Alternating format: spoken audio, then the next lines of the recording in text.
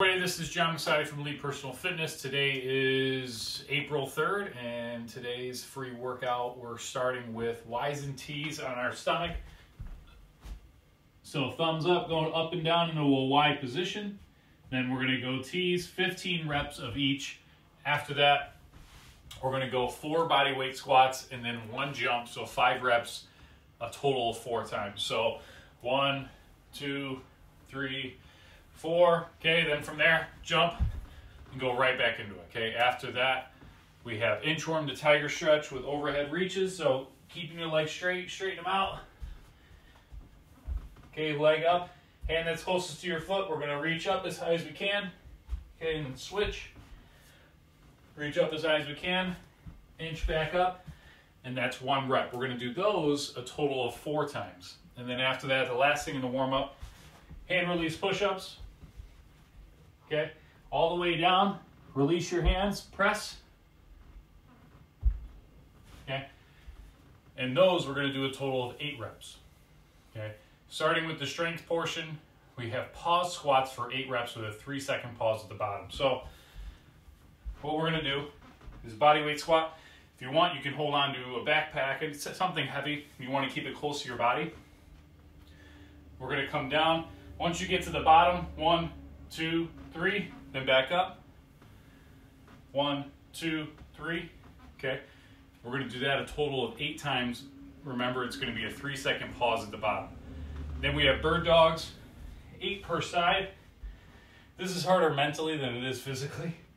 Squeezing your stomach tight Okay, we're not going to have any twisting in your core. Trying to keep our balance right arm, left leg, and switch. We're going to do eight per side, so 16 total of those. And then we have single arm rows. Now, I have a dumbbell, and you can grab a dumbbell, okay, for this as well. Two different ways that you can do this. We can either stand like this, you can put your elbow down if you need to, and we can roll like that, or you can put your hand, what I like to do, put your hand like on a couch, or even say like a coffee table, okay? And then we'll row till we have 15 reps on each side, okay? You're gonna do those three exercises, so pause squat, bird dogs, single arm rows, total of four sets. After that, we have knee tucks for 16.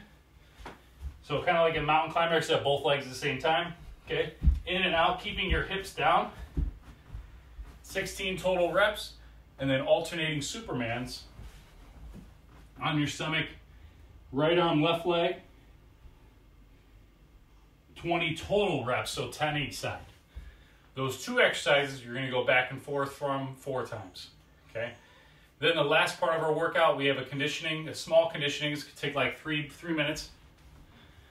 Three exercises, three times through as fast as we can. Okay, high knees. We're gonna go 20 reps, so try to get your knee up to hip level.